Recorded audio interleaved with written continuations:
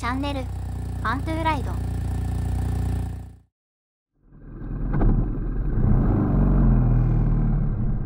5月5日は単語の節句子供の日。なので知ってる人は知っている。杖立温泉のイベントを覗きに行きます。2023年4月16日日曜日。午前8時30分太宰府インターチェンジ通過。気温は13度ぐらい天気は雲の多い晴れ。ただし予報では夕方の降水確率が40%なので今日は早めに帰ってくる予定です。距離は約 90km 時間にして約80分の予定。鳥栖ジャンクションで大分道に入ります。雲が厚みを増してきた感じ。この下を経由するコースは龍神君が阿蘇へ行く時によく使います。走ること約40分青空が広がりました。北インターチェンジで一般道に出て杖立温泉を目指します。この杖立温泉には10年ほど前に仕事で宿泊しました。その時は隣の小国町中心部で夜間の仕事。日中に寝るというスケジュール。なかなか宿が見つからずやっと見つけたのが古い旅館でした。あらかじめ昼間寝れますかと確認して部屋を取ったのですが徹夜の仕事が終わり次の夜の仕事のために朝方旅館に入りました。いざ寝ようとしたところ部屋のすぐ外の板張りの廊下に掃除機をかける音。寝れる言いましたやん。あ左側に結構前から気になっていたロールケーキの店なぎの桜。そしてその少し先にはご覧のようにバイクが集まっている道の駅大山。この辺りの山間部はとても気持ちいい道です。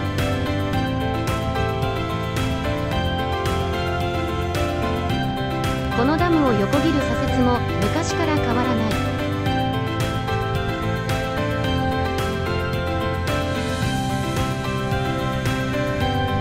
この分岐を直進して杖立温泉内に入ります。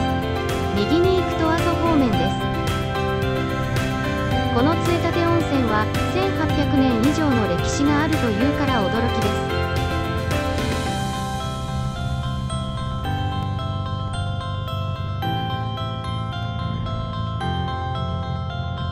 す。やはり駐車場へ入る車で混んでますね。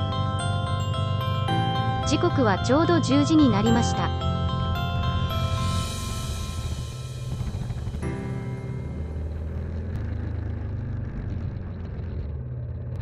杖立温泉鯉のぼり祭り。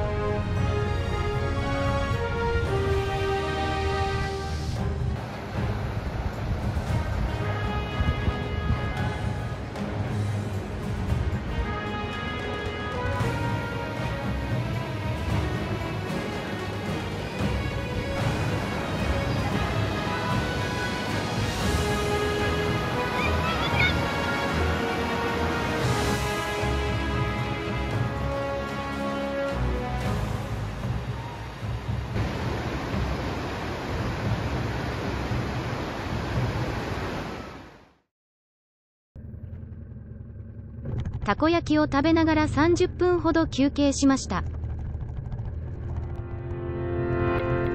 10時30分さてせっかくここまで来たんだしまだ時間は早い。阿蘇外輪山までなら30分程度。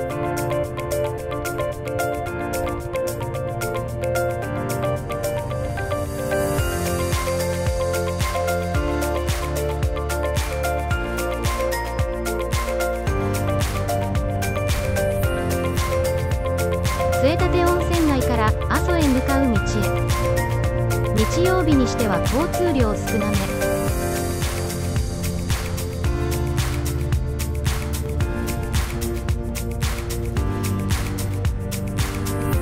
この道の横にはそば街道というところがあります。そば好きの方はどうぞ。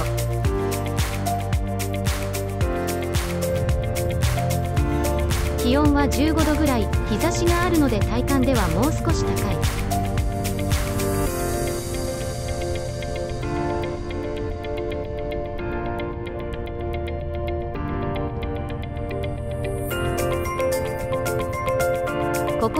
に行けば定番の大観望ですが今日は右に曲がります。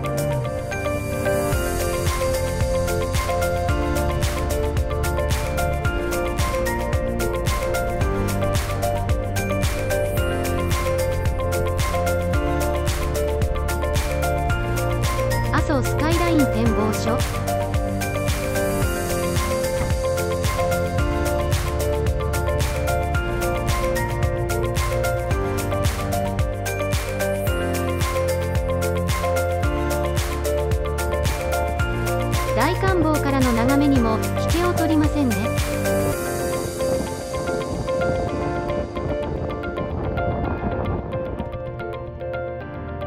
さてついでに一度も行ったことがないオートポリスに行ってみます。調べたらここから近かったというだけの理由です。距離が 8.8km とのことなので十数分といったところでしょう。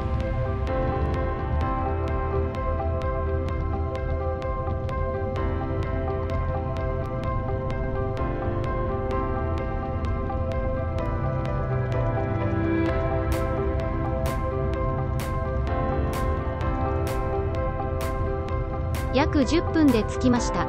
オートポリス。下調べしてないけど今日は何かイベントはあるんだろうか。自転車ロードレース。また今度お邪魔します。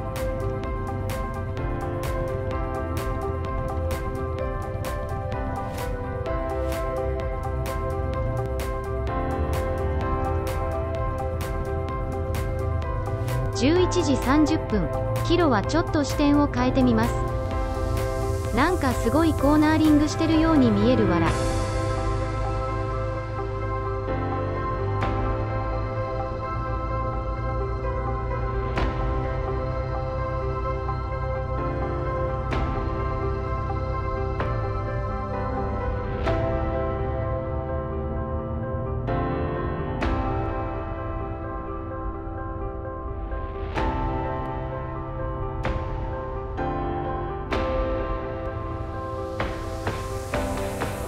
や幸せです。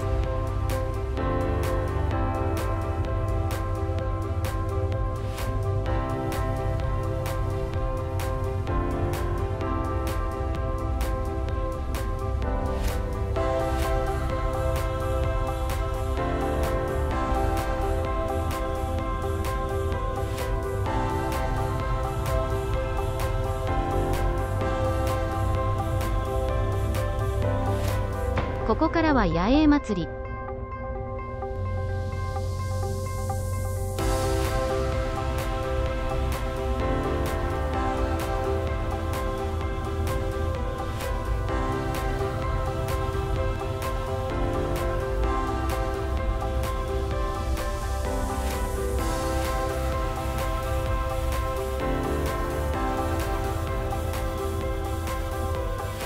ここのバームクーヘンも気になる。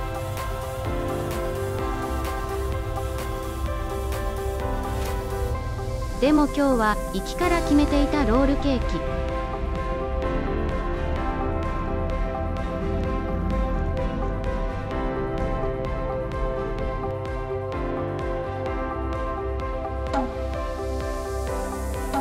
定番メープルキャラメルくるくる。北まで戻ったところでコンピラうどんでマグロ丼ランチ。帰宅は14時30分。走行距離は約 250km でした。チャンネルファントゥーライド。